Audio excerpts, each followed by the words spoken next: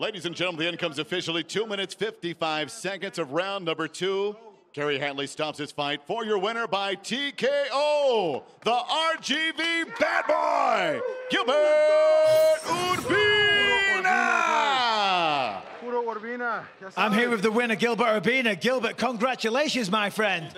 Now, you said last time out this wasn't the real version of you when you lost to Bryan Battle. You took the fight on short notice. You said you wanted to reintroduce yourself to the real Gilbert Urbina. You happy with that?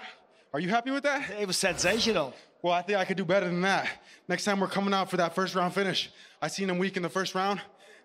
Whoever's next, boy, you better be ready. And I'm at the PI every day putting in this work.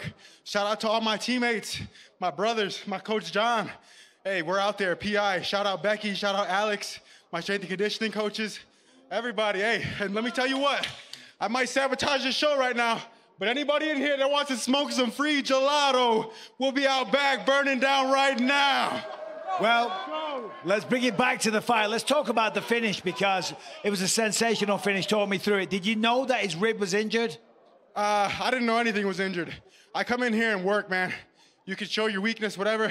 I'm just zoned in. I got coaches, great people around me, my brothers, and they just tell me to stay focused all the time. So that's what I'm doing, man. I'm in here, I'm locked in. Well, it's certainly paying off. Congratulations on the victory. Ladies and gentlemen, Gilbert Urbina.